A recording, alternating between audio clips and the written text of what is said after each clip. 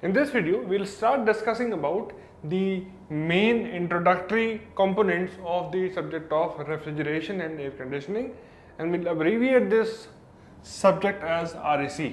Okay. So before I go ahead and discuss more about the subject, let's understand the major components of a refrigeration circuit. We have already covered what a, what a refrigerator is that you know you are extracting heat from a low temperature source by having some work input and rejecting heat to a high temperature source. Okay, so the main components, the first component is the compressor. So you have a fluid which is coming out of the compressor. So the fluid which is used to extract heat from a given substance is called a refrigerant. Alright. So the refrigerant is coming out of the compressor, goes into the condenser. The individual working and the individual uses of these things we'll discuss in a bit. And then from condenser the refrigerant goes into the expansion valve and then from expansion valve it goes into the evaporator or the refrigerated space. Okay, and then from this it goes back into the compressor. So this is a very very simplistic view of how a refrigeration circuit looks like. Okay, now our study is mainly based upon the uh, or from the reference of the thermodynamic changes that come into the working fluid that we call the refrigerant. Okay.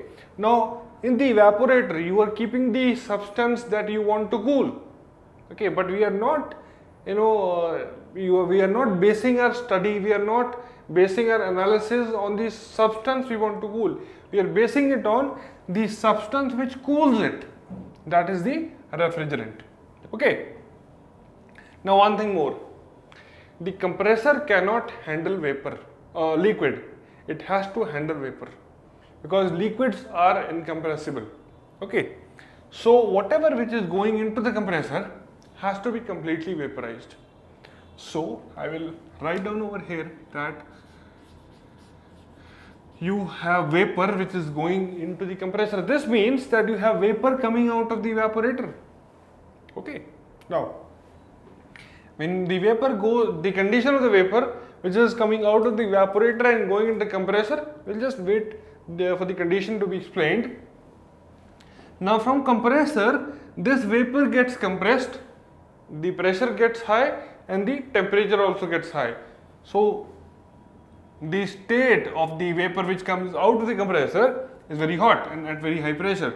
So this is hot and high pressure vapor. Okay. Now this hot and high pressure vapor this goes into the condenser. Now what happens in the condenser? It condenses, condensation takes place. So we maintain the same pressure so what is coming out of the condenser is hot, high pressure liquid. The pressure is high because we are not allowing the pressure to drop across the condenser. Okay, and also, and this is hypothetical, also because there is a phase change, so we are losing the latent heat. So the temperature remains the same. Okay.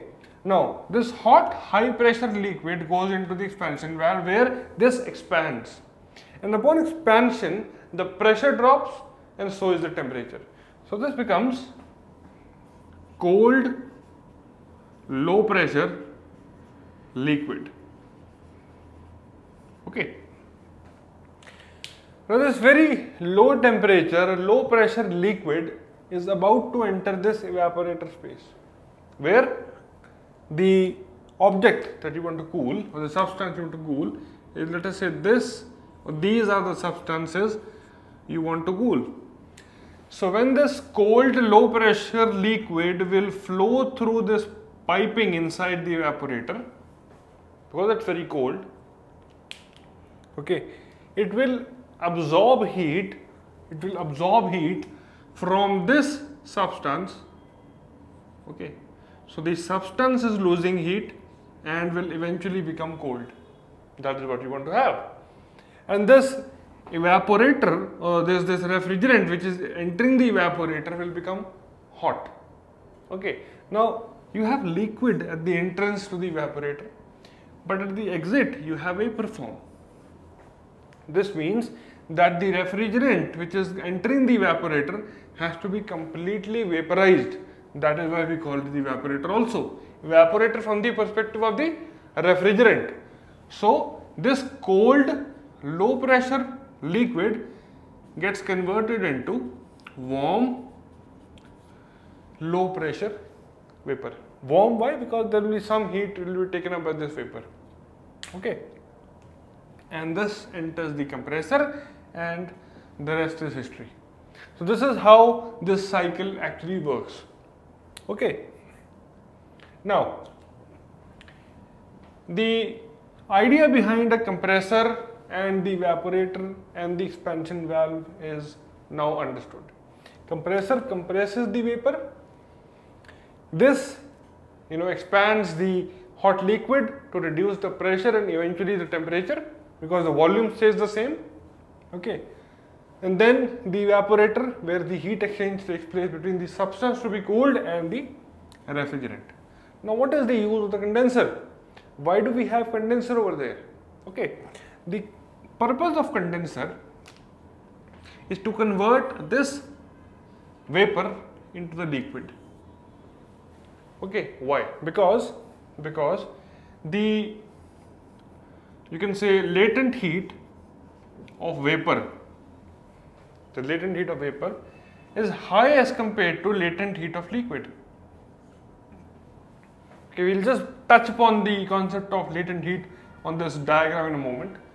Okay so when you are reducing or when you are converting vapor to liquid you are basically losing this high latent heat. So when you lose the latent heat into the atmosphere you are actually all set up to absorb heat because liquid has low latent heat.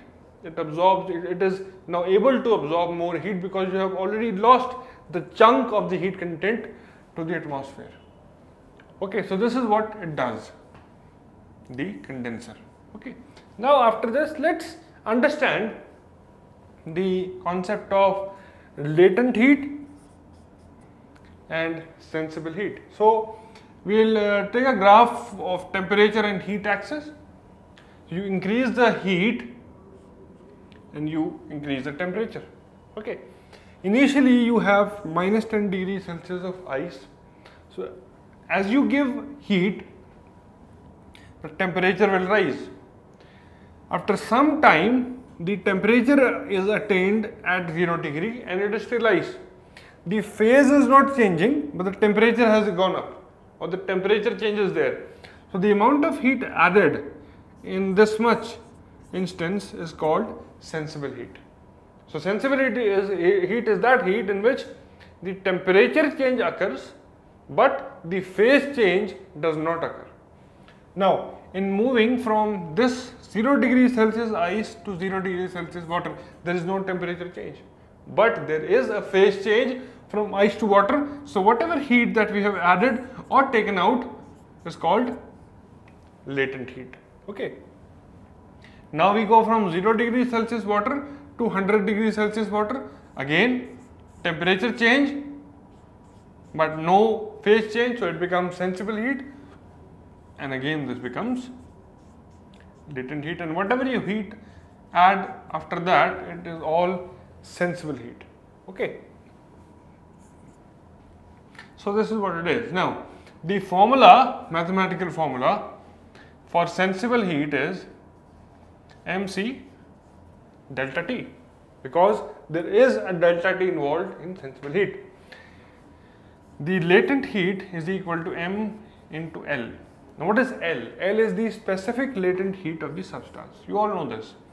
And a very common thing is L of ice is approximately 335 kilojoule per kg.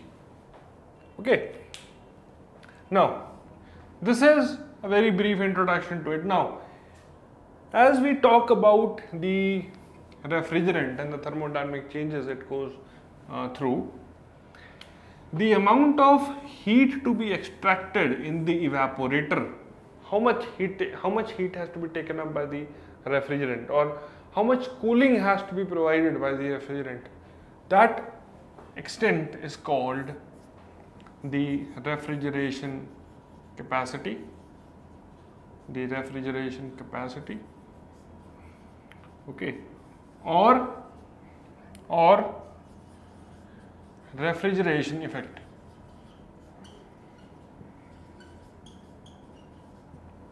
Refrigeration effect. Now the refrigeration effect is a physical quantity. So we need a unit we need units to describe this and the units to describe the refrigeration effect are TR that is ton of refrigeration. Okay. So in common practice we just say uh, 1 ton 2 ton of refrigeration but that is not ton only that is ton of refrigeration. It is TR okay. Now 1 TR how do you define 1 TR let's have a look at that. So let us say you have a room over here. Okay and inside the room you have some ice. Okay. And this ice the mass of this ice is 1 ton. Okay. And this ice is at 0 degree celsius. Now it will start melting. Now how will it melt? It will melt by taking heat from the surrounding air and as the surrounding air loses heat to the ice, the air becomes cooler.